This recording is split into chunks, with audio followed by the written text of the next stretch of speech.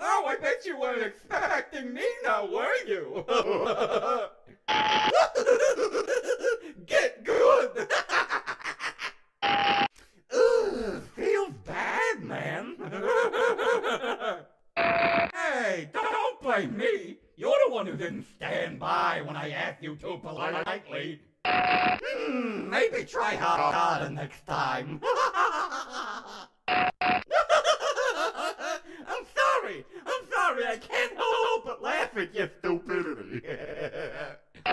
Ooh, yikes. That one was worse than listening to people debate my gender.